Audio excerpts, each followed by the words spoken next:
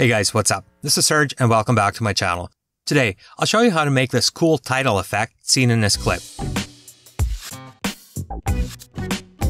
Down in my timeline, I have my background music track with beats marked so we can time the on-screen action to the music.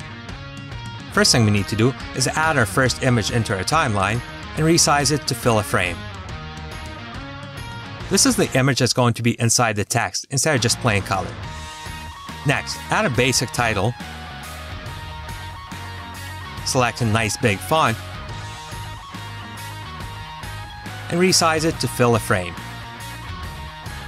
To place a background image inside the text in the video inspector, from the Blend Modes drop-down menu, select Stencil Alpha.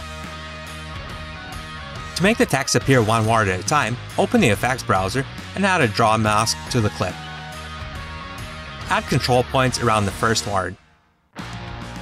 Next, let's set our playhead on the first marker and go back one frame by pressing the left arrow key. Add a keyframe to the mask control points here.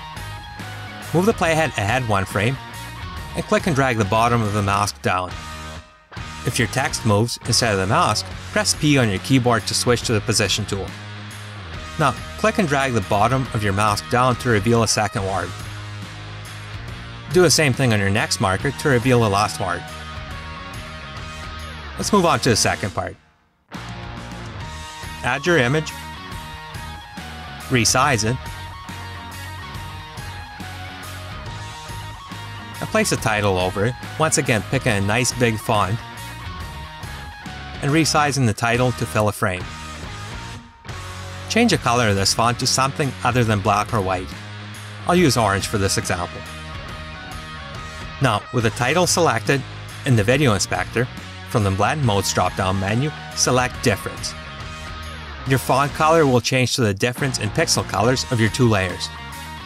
To add the screen pump effect, set your playhead in the first frame of the clip and set the transform scale to 110%. Set a keyframe here. Move your playhead two frames ahead and bring the scale back down to 100%. Next, move your playhead to the next marker and go back two frames. Add a keyframe to the scale slider. Move two frames ahead and bring the scale up to 110%. Move two more frames ahead and bring the scale back down. And for the last part of this clip, let's combine both these effects. First, add your video or image and place a title over it. Select the font and resize your title. Leave the color as white for this one. Next, add a mask and keyframe and time it to the song beat. Change the blend mode for this clip to exclusion. And finally, to add this little flicker at the end, option drag up your title to duplicate it and ripple trim the start to the last keyframe and make it about 10 frames long. Last thing we need to do is set the blend mode back to normal for this clip and let the project render out. Let's take a look at our finished product. These are just a few of many cool, unique effects you can do in Final Cut Pro to make your boring titles stand out. Play around and try a few different blend modes and see what kind of looks you can accomplish.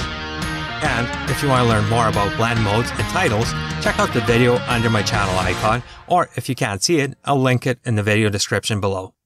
Thanks for watching, and I'll see you next week.